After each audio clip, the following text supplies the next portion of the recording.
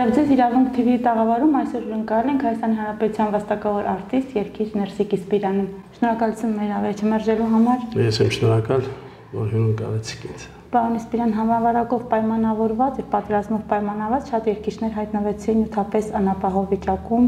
հոգեբանորեն շատ ծանր պահեր ապրեցին։ Դուք ինչպես անցկացրեցիք այդ օրերը։ Թարմարման պետք է ասեմ, որ աշխարհի վրա ազդեցություն գործեց այս վարակը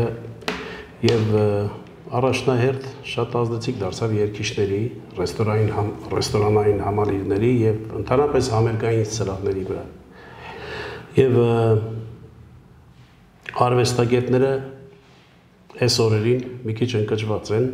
բոլորից վրա ազդել է, որովհետև երբ որ չկա հավաքական ժողովուրդ, երբ որ չկա մշակույթային մոտեցում, մշակույթային կյանք, պետք է ասել, որ մենք էլ նույն ձևի, նույն արվեստագետների նման այդպես անցկացնում ենք մենք օրը, սպասում ենք տեսնենք երբ կբացվի աշխարհում ինչ որ իրավիճակ կփոխվի, որ մենք էլ կարողանանք մեր մշակույթային առումով ձեռքբերումներ ունենալ։ Լեռան լանջին երգը դուք նվիրել եք Թաթու Կրպեյանին եւ Սիմոնա Չիգոզյանին, անձամբ ճանաչել եք իրենց։ Իմ ընկերներն են եղել։ Մենք Թաթուր Կրպեյանի հետ եղել ենք Մարաթուկ անսամբլում Իսկ Սիմոնա Չիգոզյանի հետ գաղափարակից ընկերներ ենք եղել, Թաթուրի հետ նույնպես։ Նրանք իմ ընկերներն էին, երբ որ Արցախի երեսամարտում ընկան, ես պարտավոր էի, որ նրանց մասին երկեր հորինել եւ Լեռանանջի երկը ստացվեց իրենց համար հորինեցի։ Եվ այդպես բազմաթիվ ընկերներիս համար երկեր ունենք հորինած Արցախյան հերոսամարտում ընկած մեր ընկերներին։ Այսօր կան մեր կյանքում Թաթուլ Կրպյաններ, Սիմոնա Չիկյոզյաններ։ Ես կարծում եմ այդ 5-6000 զոհավոր տվեցինք մենք, դրանք ոչ մի բանով չեն տարբերվում Թաթուլ Կրպյանից, Սիմոնա Չիկյոզյանից, Գևորգ Չաուշներից, Սերապախյուններից, կարծում եմ, որ նրանց հոգին էր թևածում այս վերջի մեր զոհերի տղաների մեջ, զինվորականների թե սպաների մեջ, որ անձնուրաց այսօր Արցախյան հերոսամարտում 44 օրյա պատերազմում իրանք մեզ հետ չեն։ Հավատում եք, որ հաղթելու ենք այդ կարգախոսը վրա։ Սկզբից հավատում էի, այո։ Հավատում էի, ամեն ինչին էի հավատում, բայց հետո շատ հուսախապ եղա։ 44 օրյա պատերազմի հերոսների նվիրված երգեր դնելու են։ Ունենք արդեն մեր վիդեո տեսահոլովակները արդեն պատրաստվել են թե Արաբոյի, թե Աղասի, թե իմ կողմից։ Մի քանի տենց երգեր ունենք, արդեն հանրությունը գիտի, որ այդ երկերը կան եւ տեսահոլովակների միջոցով հաղորդակցվում են այո այդ երկերի հետ կան իսկ համերգային ծրագրեր լինելու համերգային ծրագրեր հələ դեռ չկա որովհետեւ հələ համաճարակը շարունակվում է աշխարհում մեկ հուսանք երևի աշունը եթե նահանջի այս համաճարակը համավարակը նահանջի համերգային ծրագրեր կլինեն Այդ համավարակը քաղաքականություն է ասես, որպեսի։ Չեմ կարող ասել, չեմ կարող ասել, ոմանք ասում են քաղաքականություն է, ոմանք ասում են ոչ, չեմ կարող ասել։ Ղարաբաղ երկում տողեր կան Արցախ սիրտն է հայության այսօր սիրտը այդ այրունոտված է, վիրավոր է, բացում են մեր վանքերն ու եկեղեցիները։ Ինչ եք զգում այդ պահին եւ ինչ զգացողություն կունենաք եւ կատարեք այդ երգը։ Գիտեք ինչ, ամեն անգամ Ղարաբաղ երկը երկելուց նախ ասեմ, որ այդ երկի հեղինակը իմ ընկերն է, Սեթո Բաղդասարյանն է, Բեյրութում է ապրում։ Արցախյան տարիներին է ծնվել այդ երկը, ինքը կոչի երկ է, ինքը ողջևորող երկ է, բայց այսօր հուսախապ ենք ապրում, որովհետև Արցախի 70%-ը գրեթե մերը չէ հիմա, բայց ինչ է լինի այդ ողջավորվածությունը պետք է պահենք, որտեվ ամենամեծ գրավականը քարոշչության մեջ դա երկարվեստն է։ Ուզենք չուզենք պիտի երկենք, արեմտյան Հայաստաններ կորցրեցինք, բայց մինչև օրս երկում ենք։ Եվ մեր կորցրածների այն հողատարածները, որ այսօր մերը չեն, երկել ենք պահանջատիրության գաղափարին են պատկանում այդ երկերը հայդատի միջոցով եւ թե երկարվեստի քարոշչական առումով պիտի երկենք միջև հասնենք մեր իդեալների, մեր նպատակներին։ Ինչ որ մենք ուզում ենք տեսնել ազատ անկախ եւ միացյալ Հայաստան։ Հավատում եք, որ Ես հավատում եմ, հավատում եմ, որովհետեւ եթե միտեղ կա պայքար, միտեղ կա քարոշչություն, կարծում եմ, որ կհասնենք։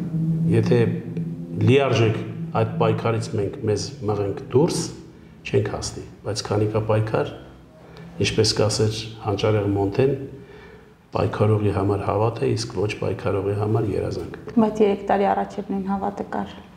Միշտ է եղել։ Միշտ է եղել, գիտեք, մեր մեծերը, որ արևմտյան Հայաստանից եկան, մեր պապերը, գաղթեցին եկան, սփռվեցին աշխարհով մեկ, նրանց մեջ մի բան կար, որ Գոնե մի օր կբացվի երկրի ճամփեքը եւ մենք կվերադառնանք երկիր Մուշ, Սասուն, Վան, Վասպուրական, Կիլիկիա եւ Արևմտյան Հայաստան։ Այդտեղ աշկները առած ավետյաց երկրին իրենք այսօր մեսեջ են, բայց որպես մենք իրենք ժառանգորդներ պետք է շարունակենք այդ գաղափարախոսությունը ուզենք չուզենք։ Ես էլ չտեսնեմ, իմ երեխեն չտեսնի, իմ երեխեն էլ չտեսնի, իմ թորոպ չտեսնի։ Հարցազրույցներից մեկում դուք ասել եք, որ Մեծ Ալիևին հարցրել են ինչպես հայերը հաղթեցին, Այո, ես միշտ ասել եմ դա եւ իմ համերգային ծրագրերի մեջ միշտ շեշտել եմ դա, որ Մեծ Ալիևը ասած մենք պատերազմը տանել տվեցինք, որովհետև հայերի նման չէինք կարող ողջևորվող երկել եւ ապարել։ Նրանք ռազմի դաշտ էին մտնում երկելով եւ ապարելով։ Բայց ցավոք այս պատերազմը մենք Դե կոտրված ենք բոլորս, բոլորս կոտրված ենք այս պատերազմում, որովհետև եւ կոտրված եւ հուսախապ բայց պետք չի նահանջել։ Ես կարծում եմ ավելի մեծ պիտի պայքարի մեջ դնենք հայ ժողովուրդը իր 5000 տարիների կյանքում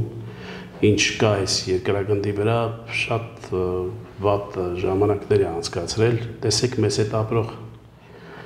երկրները, հին երկրները, ասորիները, քրդերը այսօր 50 միլիոն են, բայց պետականություն չունեն ասորիները սփռված են աշխարհում մեկ պետականություն չունեն եւ այն երկրները, որ շատ քիչ երկրներ կան, որ մեծ այդ հին ժամանակաշրջանում պետականություն ունեցել, այսօր չկան նրանք, բայց մենք դեռ գոյություն ունենք։ Հենց մեր հավատը, հույսը պետք է դնենք մեր գոյության համար եւ մեր պայքարի համար։ Հա, այսօր գոյություն ունենք, բայց այսօր այն օրն է, որ թուրք ադրբեջանցին հանգիստ մտնում է մեր սահման, հանգիստ կարող է հրմշտի մեր զինվորին եւ իր կամքը թելադրի։ Անգործություն սպասում ենք միջազգային հարության արձագանքին, մոռանում ենք Գիտեք, ինչ էս միջազգային հանդրության արձագանքին միշտ էլ սպասել ենք, որ այսօրն ենք ընկել։ Այն ժամանակ հիշում եք Թախտաշերեփի պատմությունը, երբ որ Ղրիմյան հայրիկը գնաց Ժնև, ասաց բոլորի ձերքին կար երկաթե շերեփ, իսկ իմ շերեփը թղթից էր։ Դա միշտ եղել է եւ 1915 թվականին եղեռնազարկ եղած մի ժողովուրդ աշխարհի արչեւ 2 միլիոնից ավելի մորթվեցին, կոտորվեցին թուրքական յաթաղանի ներքո եւ սփռվեցին աշխարհով մեկ, ինչեւ հիմա աշխարհը լուրը։ Եվ 100 տարի հետո նույնը կրկնես նորից Թուրքիան եւ նորից լուրը։ Մենք մեր հույսերը պետք է միայն մեզ վրա տնենք, զինվենք, հայոց բանակին զորացնենք եւ այստեղ շատ մեծ կարեւոր դեր ունի աշխարհի սփյուռքահայությունը, որ կարողանա ներդրում անի թե Ռուսաստանի, թե աշխարհում սփռված բոլոր հայերը ներդրում անան եւ զորացնենք մեր բանակը, որպեսզի կարողանան քարիաների նման տեսակ ինչպես ամբողջ արաբական աշխարհը ծնկի բերեցի հрьяները։ Մենք էլ տարածաշրջանում պետք է հզորանանք տնտեսապես, թե բանակով, թե չէ ապարձյունը, ոչ մի բանի չենք հասնի։ Որպեսզի հզորանք պետք է առաջին հերթին մասնատված չլինենք, բայց մենք այսօր ներսում արդեն մասնատված ենք։ Գիտեք, Դա քաղաքականորեն վերաբերմունք է այս մասնատվածությունը երևի ինչ որ ուժեր կան, որ մեզ մասնատում են։ Իրենց ձեռք չի տալիս, որ հայը միշտ կարողանա իր իրավունքի տերը լինի։ Դա միշտ եղել է։ Միշտ եղել է դեռ մասնատում են, մասնատում են եւ դեռ կմասնատեն։ Բայց հիմնականում կարծում եմ, որ մենք հույսը մեզ վրա եթե դնենք, ունենանք հայնասիրական հայնասիրական գիտակցություն, Այդ ամեն ինչին ուշադրություն չենք դարձնի եւ կհզորանանք մեր նպատակներին կհասնենք։ Միայն հայնասիրական գիտակցությունը կփրկի մեր ժողովրդին։ Մոտենում է մայիսի 28-ը, ոնի խորհուրդն ինչ է պարտադրում ես։ Մայիս 28-ը մեր սրբության սփռոցն է եղել։ մայիս 28-ի շնորհքն է, որ այսօր մենք ունենք անկախ Հայաստան, եթե չլիներ մայիս 28-ը, չէր լինի սեպտեմբերի 21-ը։ Բոլոր դեպքերում ընկճված ենք, բայց միշտ իմ ելույթների ժամանակ այն ժամանակ որ հաղթանակած երկիր էինք, ես ասում էի տա Աստված, որ գալիք մայիս 28-ները անենք Մուշում, Վանում, Էրզրումում, բայց այսօր հուսախապ ենք, բայց հուսանք, որ մի բարի արշալույս կծաղկի մեր ժողովրդի գլխին գարունը կմոտիկանա մեզ եւ մեր ժողովուրդը կգտնի իր վերածնունդը իր պայքարով, իր ոգեկան ապրումներով, հոգով կարողանա հասնել իր նպատակին։ Պատրաստվում ենք մայիս 28-ին, բայց ես չեմ կարծում, որ խրախճանք կամ ինչ-որ միջոցառումներ կլինեն, որտեղ ընդհանուր առմամբ ժողովրդի ոգին ընկճված է։ Իսկ ոգին այդ ընկճվածությունից հանելու համար ինչ է առաջին հերթին հարկավոր։ Պայքար գիտակցություն, հայնասիրական գիտակցություն եւ պայքար։ Եթե յուրաքանչյուր ոգ, յուրաքանչյուր հայ իրեն պայքարի մեջ չտնի, հայնասիրական գիտակցության մեջ կվերանանք մենք։ Միակ միակ փրկությունը մեր ժողովրդի համար դա հայնասիրությունն է, որ պետք է ամեն մարդ ինքը իր մեջ զգա դա։ Բայց ամեն հայրենասիրության մասին խոսող չէ, որ հայրենասեր է։ Իսկ դուք ձեր երկերով հայրենասիրություն եք քարոզում, բայց մարդիկ կան դիվանին պարկած Facebook-ի էջերում ստատուսներով են հայրենասիրություն քարոզում։ Դե ամեն մեկը գիտեք ինչ թող ինքը իր խղճի առաջ պատասխան տա։ Ես գիտեմ իմ գործնեությունը, ես գիտեմ ինչ ծերունդներ եմ դաստիարակել իմ երկերի տակ եւ այսօր ես փոխանցել եմ Արաբոյին եւ աղասին։ Եկոս չենք իմանում ինչ կգա մեր գլխին, արդեն տարիքներս էլ ենք առնում, մեծանում ենք, սրբությունը հայրենասիրությունն է, սրբությունը հայրենիքն է, որ քարը քարի վրա ինչ դրեցիր, հայրենիքի համար արեցիր, դա է սրբությունը։ Եվ ես խիղճս հանգիստ եմ, որ գոնե կարողացել եմ այդ նվաճումները ունենալ։ Հետագայում բացի այդ աշնան համերգային ծրագրերից ունեք տեսահոլովակ նկարահանելու։ Տեսահոլովակների այդ նկարահանումները միշտ կան։ Դա կապված է երկի ընտրանի հետ, Այս վերջերս մեկ ամիս առաջ ես ունեցա մի տեսահոլովակ Հայաստանից Աղբատի բանկում նկարահանեցինք Հայաստանից եւ իմ Արցախից այս տեսահոլովակները շարունակական են ամեն ժամանակների հետ աշխատում ենք որ համահունչ լինի այդ տեսահոլովակները մանավանդ հայնասիրական ոգու մեջ մեր ոճը դա է Պիտի միշտ շարունակենք, միշտ սերունդերին պիտի ասենք, որ կա սա, կա այս երկարվեստը, պիտի հետևողական լինեք սրան, որովհետև միակ, միակ մեր ժողովրդի բրգությունը դրա մեջ է։ Վերջում ինչ կմաղթեք, մաղթեք մի քիչ հոպիտ է ասում այն մայրերին, որոնց որդիները իրենց կյանքը տվեցին մեր այսօրվա։ Դա շատ ցավալի է, դա շատ ցավալի է, մենք յուրաքանչյուր համերգային ծրագրումներ ենք դա միշտ հիշում։ Չկա այդպիսի համերգային ծրագիր, որ մենք չհիշենք իրենց կյանքը տված տղաներին, սփոփենք հայոց մայրերին, գիտեք, մենք երկերել ունենք ով հայոց մայրեր։ Եվ հուսանք ժողովուրդ ջան, որ այսպես չի մնա, ամեն մեկը ստոկորվենք հայրենասիրությամբ, ամեն մեկս մեր խղճի առաջ տեսնենք ինչ ձևով ենք, ինչ ձևով ենք կարողանում պայել հայանունը, ինչ ձևով ենք կարողանում պետքալ մեր հայրենիքին, մեր ժողովրդին, եթե Զորավար Անդրանիկի խոսքերն եմ հիշում, երբ որ ասաց քնելուց առաջ յուրաքանչյուր հայ, եթե կես րոպե մտածի իր ազգի եւ հայրենիքի մասին,